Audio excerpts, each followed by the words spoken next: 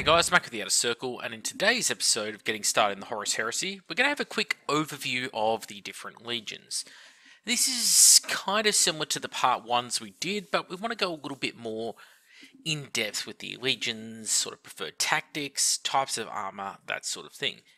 So the Dark Angels Legion is where we'll start. Now the Dark Angels Legion are very much the all-rounder legion with an emphasis towards knightly honor, knightly virtue, single combat, that sort of thing. Within their structure, being the first legion, they created what we call the wings. And the wings are basically different breakdowns of their structure that include the Death Wing, Raven Wing, Dread Wing, Fire Wing, Iron Wing, and I believe the Storm Wing. These different uh, breakdowns of the structure refer to specific skill sets within the Legion. So, for example, the Deathwing are the elite veteran companies. This will be full generally of Terminators, Deathwing companions, uh, veterans will all be in there. The Raven Wing is mostly your bikes, your jet bikes, your land speeders, all those sort of formations. The Dreadwing is where you'll find all the really nasty stuff in the Legion, like your destroyer units, use of radiation weapons, crawling fire, uh, napalm, all that sort of thing. Firewing is where you're going to find your uh, your more subtle methods of killing in many ways, your assassination forces. So you'll generally find the Moritats in there, uh, not necessarily with the Dreadwing.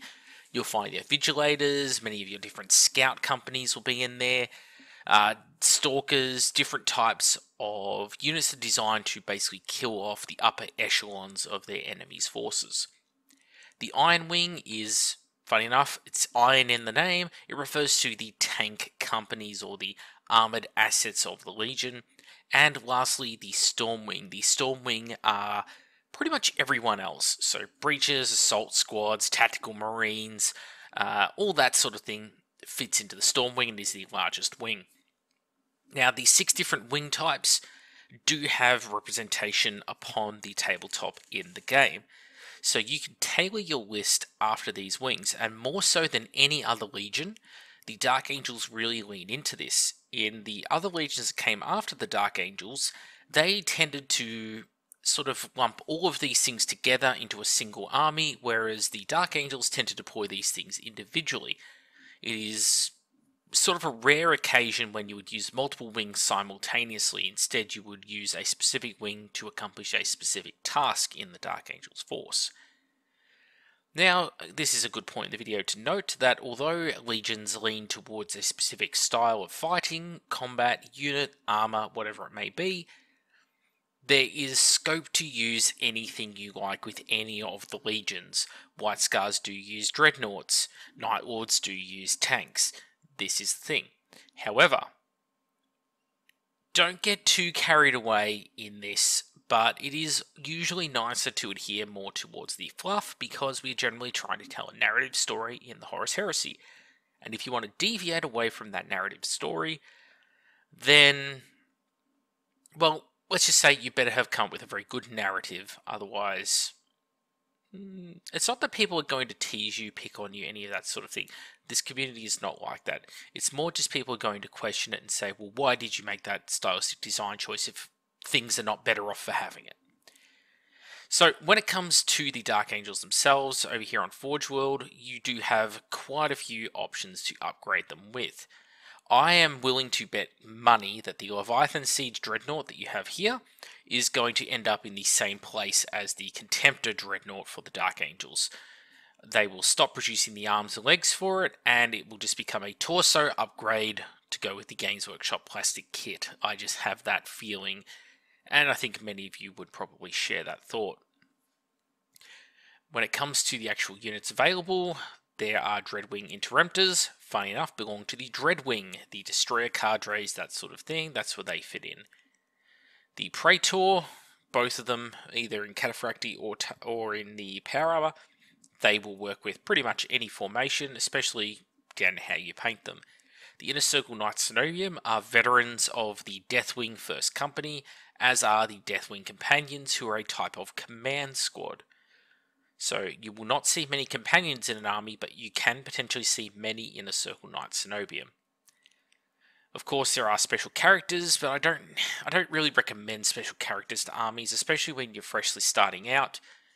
Uh, it's more impressive to, unless you're playing a campaign, you know, directly using, say, book missions from the old black books, you don't really need the characters unless you've really worked them in there into the story of why they are being used. Just create your own characters, more fun. The Dark Angels, of course, tend to gravitate towards Mark II power armor Crusade pattern because they wear a lot of it. Uh, they've been fighting since the earliest days of the Great Crusade and even were fighting the most during the Unification Wars. They have the most access to Mark II armor and because the Dark Angels are usually right at the edges of the galaxy performing their fighting role, they lack the resupply that would see them getting issued with the newer types of armor. So, moving on from the Dark Angels now, we get to the Emperor's Children. The Emperor's Children are, of course, traitors, unlike the Dark Angels. The Emperor's Children's focus prior to the Horus Heresy, and what is maintained by the Loyalist Emperor's Children, is perfection.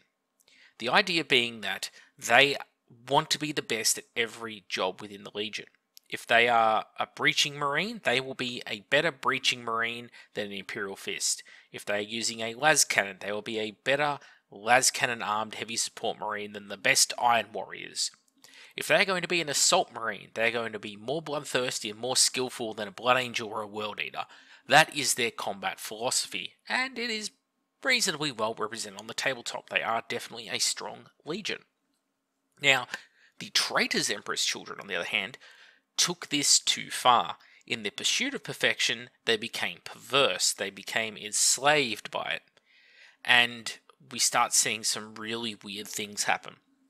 Now, downside the Legion is if you do play Loyalists, all of the very strong war gear and units is locked away behind being a traitor, so you have a much more limited set of tools available to you with the Legion. That said, they're still quite strong. Now, the Emperor's Children's preferred method of combat is to pick the best tool for the situation, and they trained every single person within the Legion to be essentially equally capable at every single job. Every Marine was expected to be able to do every job within the Legion and flawlessly, with the exception of highly specialized roles such as apothecaries and tech Marines. Of course, the elite veteran units are exactly that. They're elite veteran units, and they are not subject to the same sets of rules. So there are obviously many different characters, special characters available to the Emperor's Children. There are traitor units such as the Cacophony here, which are pretty damn cool. The favoured armour style for the Emperor's Children is Mark IV. It is meant to be the ultimate in armour and therefore the most close to perfection, therefore, the Emperor's children want it because they themselves are the closest to perfection. They have Emperor's children have Phoenix Terminators in here, as well as Palatine Blades to fulfill all their close combat needs. The Phoenix Terminators are more of an elite bodyguard unit, and I would suggest probably using them a bit more sparingly. Uh, this is not the sort of Legion where you're going to see a lot of Pride of the Legion full of Phoenix Terminators. The Legion does not build well around that. As to special characters, same as the Dark Angels, don't go over the top with them. Uh, Emperor's Children are very good at dueling. They are a duelist's dream as a legion, and they hit like a freight train on the charge. Be very scared of them turn one of any combat, even if you're charging them. The next legion along is another Traitor Legion force, and this is the Iron Warriors. Now, essentially, the Iron Warriors are fighting World War One all day, every day in the 40th, uh, in the 30th millennium through to the 40th millennium, uh, 40k times. And due to this, let's just say it sent them a little bit insane because they've spent too much time in the trenches. They're very cold, very calculating, very callous. They are a firepower heavy legion especially good at destroying buildings and armoured vehicles. Their war gear and their specialist units, like the Tyrants, very much embody this design philosophy. Firepower at all costs, and many of their Legion units have a lot of custom armor or up armoring that has occurred on them in order to make them more resilient and stronger at that assault mentality. So you're going to see a lot of Mark III power armor in this force, as they love the aspect of the additional armor plating. But you'll also see a lot of Mark II power armor in this force because the high casualty rates and high attrition means that they basically pulled all the Mark II suits they can out of storage just to keep supplying the fresh blood with. This legion in particular does not like Mark VI power armor. Now, make of that what you will, but they deliberately uh, tried to get rid of it when they were issued it for prototype testing. They disliked it so much, and they actually succeeded in getting rid of that armor. Obviously, a time will come in the Horus Heresy when they say, well, we just got to use what's around, and Mark 6 is around, therefore we're using it. So, like I say, anything can be justified if you put your mind to it. The Iron Warriors are a fantastic army when it comes to shooting, but once you remove them from that, they are very much lacking the tools to deal with much else. And unfortunately, uh, along with the Iron Hands, the Salamanders, the uh, World Eaters, the Raven Guard, this is one of those legions that doesn't have Praetor options yet available. And because their Praetor is a bit more unique, uh, being the uh, basically it's called the Warsmith. It's a souped up tech marine meets a uh, chapter master of 40k term, and uh, you really just have to convert it currently. Unfortunately, there's no two ways about it. It's a bit of a shame. Uh, they desperately need to get characters and they need to get their special HQs. Next along, we have the White Scars. Now, the White Scars are very much the pathfinder of the Great Crusade. They are a legion which not many other legions know of or like, with the exception that the Thousand Sons and the Sons of Horus both thought very, very highly of them and saw them for what they really were worth. The White Scars have a little bit of a chip on their shoulder because of this, but it doesn't rule their personality. They are into bikes, to put it very lightly. They are pseudo Mongols. They are Mongols in space, they are Huns, they are Scythians, they are nomadic horse people that are given power armor, superhuman bodies, and bikes instead of horses. So treat that how you will. Unfortunately, bikes are not very good this edition, but of course, this legion is able to make the most of them and they're tailored towards that. That said, they are at the weaker end of the spectrum when it comes to legions and their performance, and of course, they suffer from being overlooked quite a lot when it comes to picking armies because they are a more difficult force to paint. When it comes to their units, they actually have a wide variety of units. They even have their own dreadnoughts. I would suggest that their Leviathan dreadnought is again probably going to suffer from the same thing that has happened to their Contemptor Dreadnought in that you'll be sold the torso in time, not the legs. They have plenty of upgrades available to them, and like the Dark Angels, because they're constantly at the edges of the Great Crusade, they love Mark II power armor. They have lots and lots of Mark II power armor, and they have bikes. Everywhere you can think of, they have bikes. That's the Legion. But again, nothing stopping you from playing them on foot. And there's some really cool concepts in there, like the Sagyar Mazan. The Sagyar Mazan is a essentially a suicide squad who let down their Primarch or failed him. Uh, originally, they intended to join Horus, not understanding the Horus heresy for what it was. And rather than executing them as punishment for this, they are told to basically redeem their honor by dying in glorious combat and taking as many traitors with them as they can.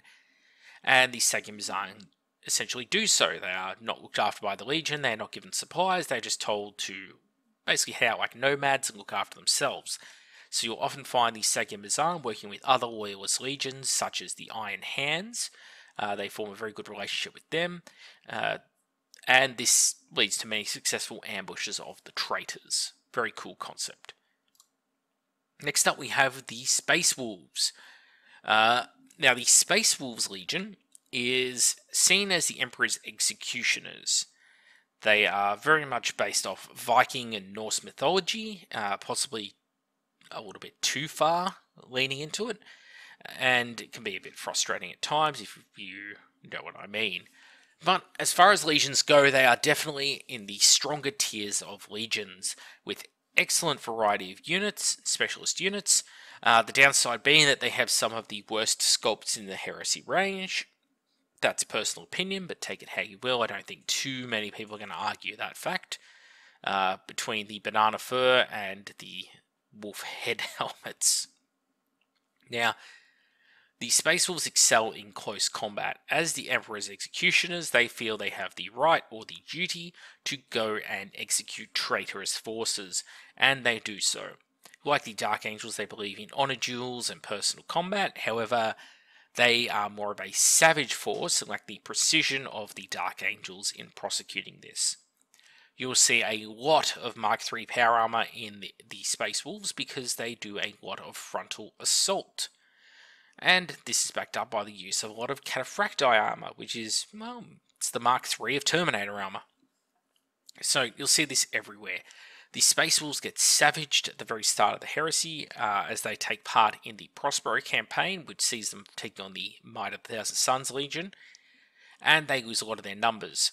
Following this battle, they are then also ambushed by the Alpha Legion at the Alaxes Nebula and use uh, lose yet more numbers.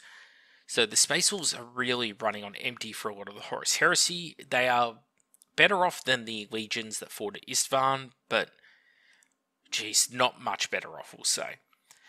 So they are essentially in the process of rebuilding their legion throughout the Horus Heresy and trying to get as many men and arms and armor and consolidate their forces back together in order to prosecute their own campaigns. Next along, we have the Imperial Fists, who are the poster boys of the Horus Heresy alongside the Sons of Horus. So the Imperial Fists' uh, preferred playstyle is to be good at everything on the tabletop, and they are. In actuality, they are supposed to be a bit of an all rounder, more generalist legion, very good at holding the line when it comes to sieges, as opposed to being the ones who do the assaulting in a siege. So there's sort of the counterweight or the opposite counterpart to the Iron Warriors. The Imperial Fists utilize many different types of elite units. They have very resilient Terminators, they have very resilient boarding troops, they have excellent duelists, but unfortunately, every one of these units has a trade off of some description. The Templar Brethren, for example, are an excellent sword and sword wielding unit, uh, and they are let down by the fact that they are a sword wielding unit in a game that favors stronger weapons. The Phalanx Warders, uh, very strong defensive unit, able to take a lot of punishment, but low on the number of attacks they have, and they are only power armored at the end of the day. They are, however, many ways of buffing this legion into the stratosphere, so keep that in the back of your mind. They also have a very simple legion trait, which has a lot of really good that comes from it. They get a bonus to hit, where if you rolled, say, a 2 to hit, it counts as a 3 on the dice. So, very, very handy when they are firing a lot of shooting weapons, because they are functionally increased ballistic skill when it comes to firing all bolt and auto weapons, which is the majority of range firepower in the game. As for their preferred armor, it is Mark III, they are very much a assault-based legion. They like to get up close in your face, uh, and it's not that they want to get in there for close combat. It's that they want to get close enough to kill you with a bolt gun. They're funny like that. Next along, we have the Night Lords. Now, the Night Lords specialize in terror tactics, and it is a lot better portrayed in this edition of the game than the previous. The Night Lords therefore have a lot of grim trophies, skulls, lightning bolts, very much a Castlevania theme, we'll call it. And the Night Lords use their terror tactics to bring different worlds into subjugation throughout the Great Crusade. And by the time they go traitor, well, let's just say they weren't nice guys to begin with, so things only get a lot worse. Because in the past, they might have done horrible things to people in order to subjugate an enemy population. Now they're doing horrible things to people because they feel like it. The Legion is also made up of a bunch of condemned criminals, uh, murderers, the scum of the Primarch's homeworld, Nostramo, which is named uh, after Nostromo from the Alien franchise. Take that how you will. Now, very, very interesting Legion to play. Uh, I think their elite Leviathan will also go the way of the Dodo, so maybe get one when you can. They have some fantastic specialist units. The Night Wards are very much a hit and run, strike from the shadows, strike when your opponent is weak and you are strong sort of mentality. Uh, they're almost cowardly, lack honor, all of those sorts of traits. The most preferred type of armor you're going to see throughout this legion is generally going to be Mark IV. They are one of the traitor legions that got given a lot of the better equipment by Horus as a reward for essentially siding with his way of viewing things. Next along we have the Blood Angels. The Blood Angels are the perfectionists uh, of the Loyalist Legiones Astartes, but where the Emperor's children try to be perfectionists, to the Blood Angels it just sort of comes to them naturally. The Blood Angels are very, very aggressive, and unlike the Space Wolves who let the aggression take hold and really they just run with it, the Blood Angels temper it. They use self discipline, uh, willpower to hold themselves in check, and utilize their strength more responsibly. The Blood Angels as well see things like destroyers as a devoted duty that should be undertaken, uh, and understanding the power that you wield in doing so. And therefore, they make quite extensive use of things like destroy companies. They see the need for it. Um, and they respect the firepower that it brings. The Blood Angels are an assault focused army, especially melee using jump pack infantry. And their toys really represent this. You'll see very short ranged weaponry on their shooting units. You'll see a lot of assault based units, Dawnbreaker Cohort, Crimson Paladins, all designed for getting in close with the enemy. They do have some interesting range options that other legions don't, such as Iliastus assault cannons, but on the whole, very much a close combat army. And being one of the most favoured legions in the background, they have a lot of Mark IV power armor given to them.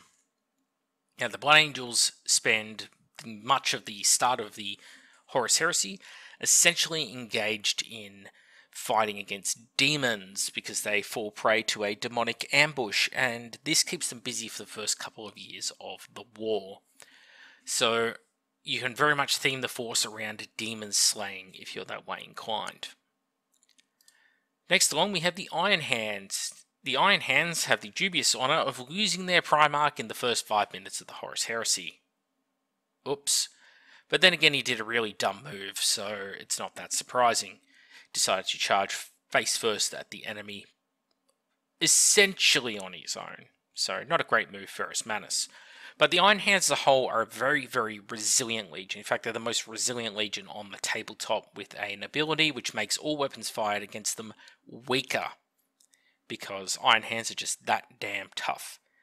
Now, the Iron Hands tactics, essentially they're a ranged army, whereas an army like the Imperial Fists or the Iron Warriors gets bonuses to their shooting, instead the Iron Hands get a bonus to their defense against shooting.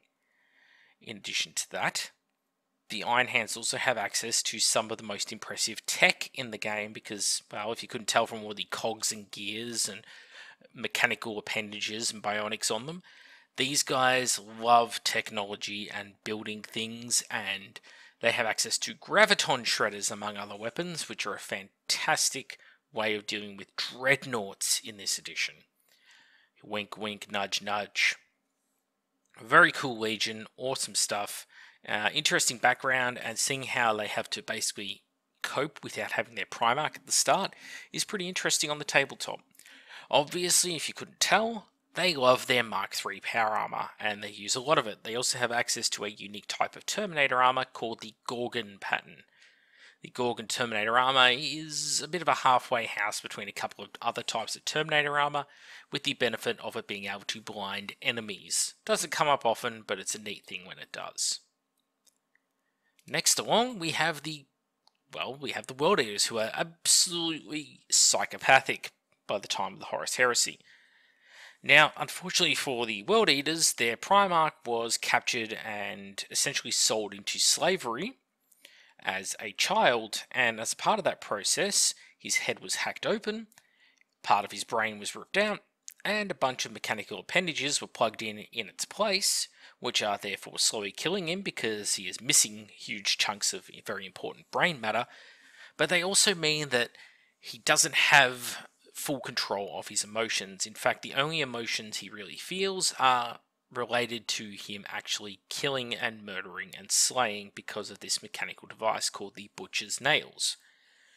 Now, in order to bond with their father, the World Eaters Legion decided to undergo a similar process and had a cruder version of this implemented upon themselves, which obviously was not the brightest move, and the Butcher's Nails have since driven pretty much the entire Legion insane. And therefore, as they play into Khorne's hands, these guys eventually do become the Khorne Berserkers. They become more and more bloodthirsty and lose more and more control of their faculties as time goes on. They have very few units available to them in the Horus Heresy. The Rampagers are incredibly strong at the moment due to one particular weapon. However, I think you only get one or two sets of that weapon in their box, so it makes it a bit difficult to build the unit correctly. But They've got a lot of upgrade options, and the World Eaters are, of course, a very infantry heavy army with a focus on Mark II power armor, but they also had a surprising amount of Mark IV, as they were again a favoured legion of the War Master, who diverted Mark IV supplies to many of his favourite legions, aka the ones who sided with him. Next up, we have the Ultramarines. Unlike in 40k, the Ultramarines of 30k are incredibly tolerable because they are not the poster children. That's the Emperor's, uh, sorry, the Imperial Fists, uh, the poster children of the Horus Heresy. So the Ultramarines are very much your vanilla faction, and they're more buffed around having interconnected tactics. So multiple squads working together to take down one enemy will grant certain bonuses. This is pretty thematic to them and they have some of the best specialist units in the game. However, most of them are locked behind a PDF document, and since they have no models, you will have to get out the old conversion tools to make many of them. The Ultramarines are very bland and vanilla when it comes to characters and specialist war gear. They don't have a huge variety of it. They also only have access to one Rite of War. That said, very good Legion, relatively strong Legion, uh, especially due to having just fantastic specialist um, units. And their preferred armor is generally Mark IV, because unlike other legions, they actually had the facilities to make many of their own tools and armor from scratch because the Ultramarines controlled such a large empire within the Imperium. Uh, the Ultima Segmentum is essentially theirs, and yeah, it has many forge worlds and refinery planets and such, and they even invented their own versions of certain armor types. And that's how we end up with things like Praetorian armor and Invictari pattern and such. Moving on from the Ultramarines, we get to the Death Guard. Now, the Death Guard are chemical warfare specialists. Prior to the Horus Heresy, and once they get going in the Horus Heresy, they start falling to Nurgle, and you see many of these things taking place where they, you know, virus bomb or poison hold villages or cities or planets of their enemies. And they themselves become smellier as time goes on. I'm sure many of you are aware because they eventually become the Plague Marines by the Siege of Terra and at the Siege of Terra. So the Death Guard, obviously a focus on chemical weapons, lots of short-ranged flame weapons, uh, chemical bombs that they can throw, phosphex bombs, rad grenades, all that sort of thing, as well as having power scythes for their more elite units and champions. The Death Guard as a whole are a very resilient legion. They have excellent tools for getting the job done, but they don't excel in any one area. They're sort of like the uh, iron hands that they have a certain resilience or a certain inclination towards certain tendencies, such as a bit of survivability when it comes to chemical weapons and warfare, and where the iron hands have, say, graviton weapons, as a sign of their technical superiority. These guys have access to a lot of chemical and radiation weapons as a sign of their, well, nasty tactics. The favoured armor mark of these guys is Mark III. So Mark III power armor for the Death Guard. who are huge on trench warfare in much the same way that the Iron Warriors are. Not huge fans of tanks as well, by the way. Next legion is the Thousand Sons, the Psyker Legion, and they are, to be honest, in a bad place rules wise this edition. They are not very good. Psykers are good in this edition, but the way the Thousand Sons rules are written do not work well with the rules for Psykers. Uh, they are not particularly better at it than other legions are, which is a real shame considering this legion it's supposed to be their speciality that they're built around. They have a lot of unique legion units and a lot of variety, however, pretty much all of them are bad. So, not in a great place. But the Thousand Sons throughout the Great Crusade are a legion that focused on retaining the knowledge of worlds they conquered, and generally tried not to conquer worlds through brutal subjugation, but through influence and negotiation, convincing the worlds that, you know, it's, it's a good idea to join the Imperium. There are many benefits to doing so, and in fact, here are some of them for you now. And rather than brutally subjugate you, we are going to help you and we're going to bring you better resources and educate your people and improve your healthcare system. And, you know, and many planets obviously fell into this and it worked out quite well. But the problem is that approach is, it's a bit slow. And especially when you decide to linger around on a planet for a few weeks or years, to read through their library archives and you aren't out there prosecuting the war, certain other legions in grey power armor tend to get pissy at you because, well, they think they're getting the job done and you are not. This, of course, meant the Thousand Sons had very few friends, and because they used uh, psykers, which is already a bit of a no-no, uh, a frowned upon practice, although accepted in the Imperium, it meant that they lost many more friends to the degree where they really only had two or three other legions that liked them, which is probably the lowest of all the legions. Uh, the Thousand Sons have Mark IV as their favourite armour mark, and that's mostly down to the fact that there are so few of them, it was very easy to get a lot of it uh, prior to the Horus Heresy breaking out. Next, of course, the War Master and his legion, the Sons of Horus. So Horus's forces, Horus Lupercal's forces, are very much like the Blood Angels. Brutal force, but somewhat controlled. Whereas the World Eaters are just let loose, and the Night Lords are given in to their more sadistic nature. The Sons of Horus are much more balanced in that regard. They are, however, not to be trifled with. They can be absolutely brutal when they want to be. It is controlled aggression. They are sort of the poster children throughout the Great Crusade because they get their Primarch very early on, and not to put too fine a point on it, get given a lot of the easier assignments.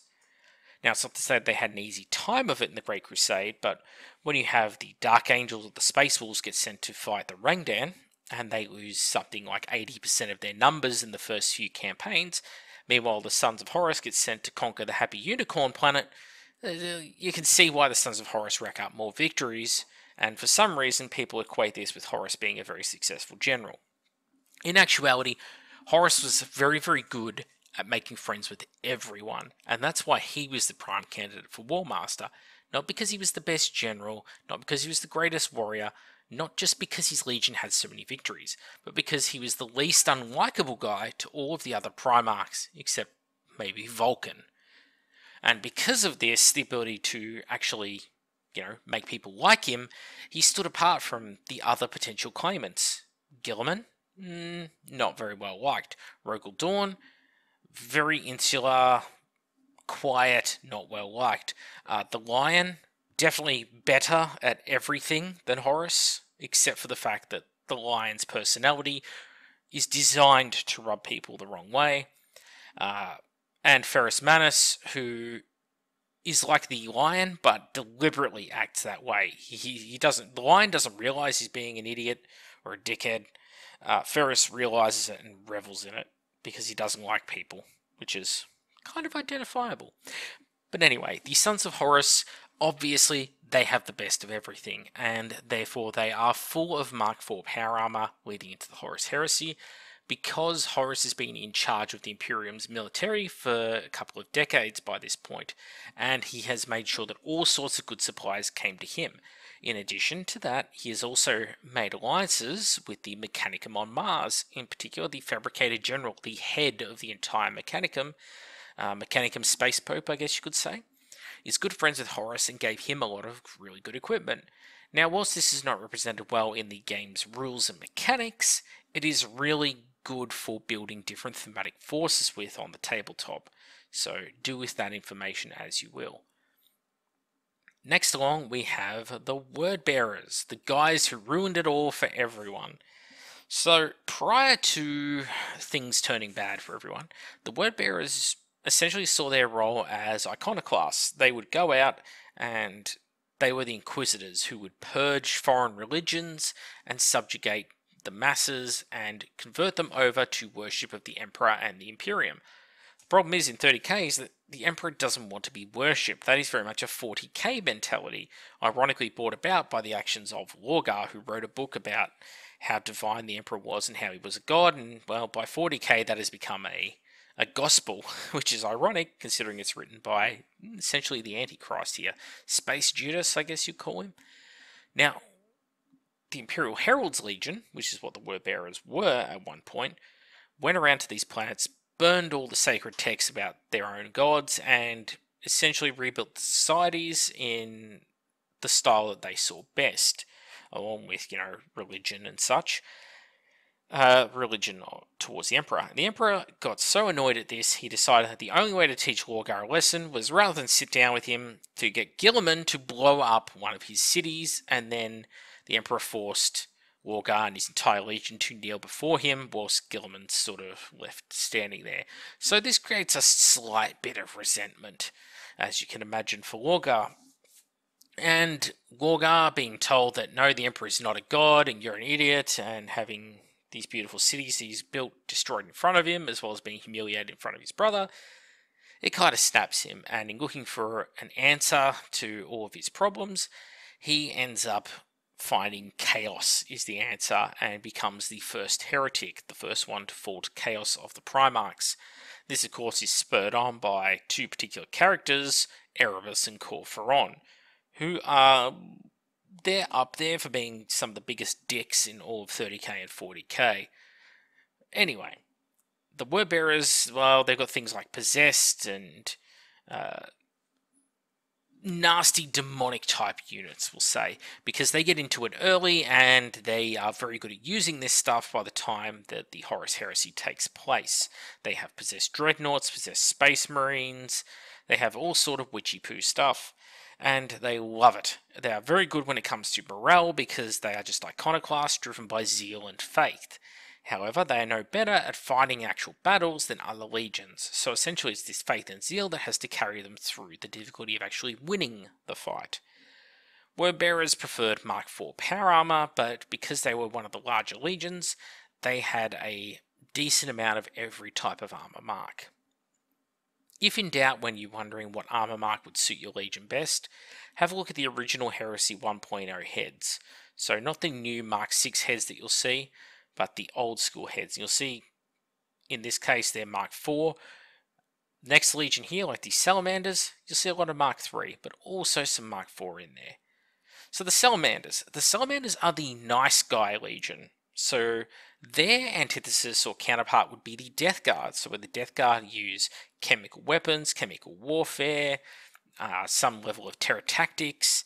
The Salamanders are all about using fire. Uh, so they burn away the chemical residues and they don't believe in using radiation weapons. And unlike the Death Guard, who war is a sort of grim task and it's a calculated task and there will be casualties on the civilian side and who cares as long as we get the job done. The salamanders are the only legion that is willing to throw themselves in front of a civilian, the only legion that will throw themselves on a hand grenade to save regular humans. And in that task, they're the most human of the legions, uh, and they are really considered the nice guys. Uh, which is ironic because they burn people to death. So work that one out. Reconcile the two. Now, the salamanders definitely prefer Mark III. However, the salamanders are one of those forge legions, like the Iron Hands, and therefore they build a lot of really fancy tech for themselves, and they have forge ship. They have a relic forge ship, which is able to make pretty much anything they like. And so you will see things like Mark IV power armor in there because they could make it with relative ease. They weren't dependent on Mars for supply and they weren't having their supplies rerouted by Horus. They were very much independent in that regard, and their planet as a whole focused on the forging and making of things because they come from a volcanic world that is rich in mineral wealth. Now, the salamanders obviously have a lot of stuff available to them, but the Legion is awful on the tabletop, thankfully saved by having some really good rites of war and two of the best units in the game.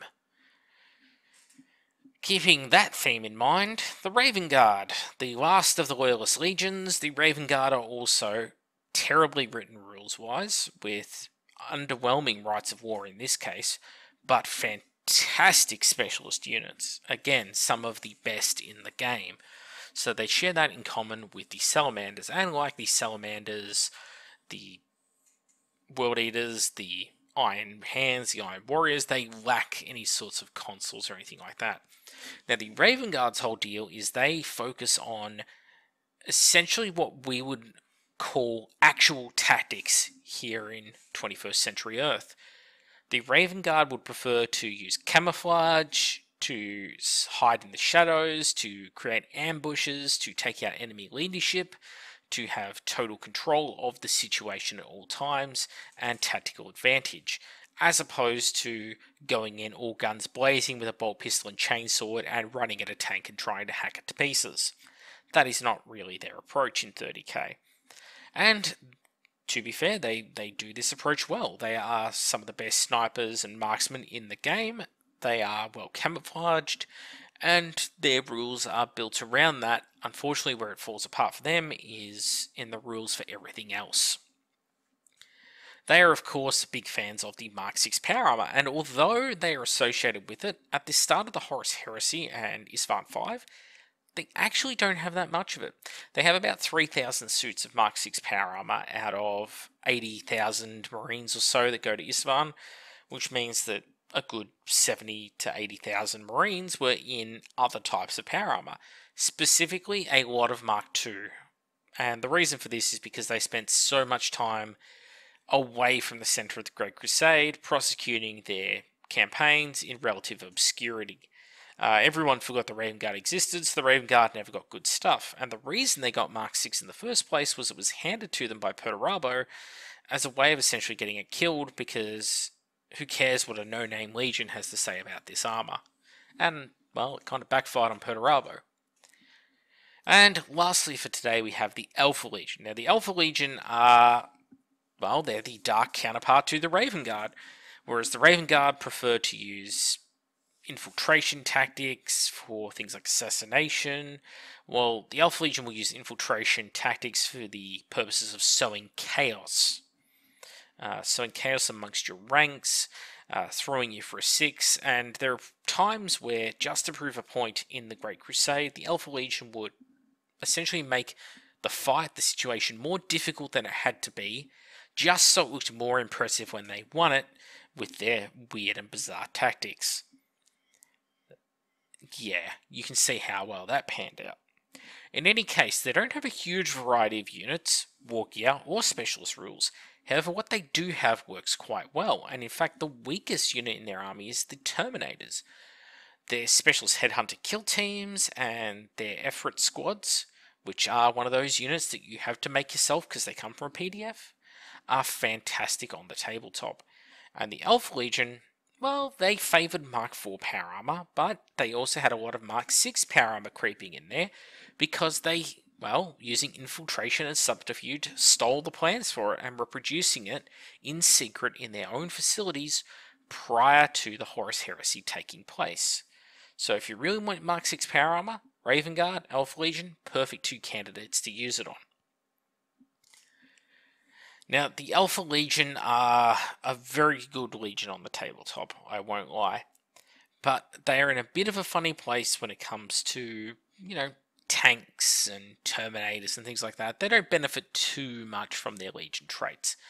But what really marks them out as special or different is that the Alpha Legion can take another Legion specialist unit and use it themselves. So all of those cool units that you might have seen in the background today's video imagine taking some of those in your Alpha Legion force. That's a pretty cool thing. Anyway, that's it for this episode of Getting Started in the Horus Heresy. I hope I've given you a bit of an overview of the different legions, their tactics, their preferred armor and methodologies, and hopefully you gain something from this. Now, I want to do the same sort of episode again for the Custodes, the Sisters of Silence, Knights, Militia, that sort of thing, but I want to hold out a little bit because I want actual Militia Demons the Ruinstorm rules to drop, and then maybe I can go into the couple of the different types of, say, provenances of war of such, uh, and go into a bit of depth there. Talk about the different forces of the Solar Auxilia. Otherwise, it's going to be an episode that's like, this is the Solar Auxilia. They exist. The end. And I think that would be quite boring to people. So we'll hang five on that one. But if you really want something soon, we are looking at doing a getting started in Horus Heresy on the Solar Auxilia. Uh, Cat is going to do the Mechanicum, and yeah, let's just say both those factions are in a really sticky place. But that's for another episode. Anyway, I'm back with the Outer Circle. Thank you all for watching, and I'll see you all on the next one.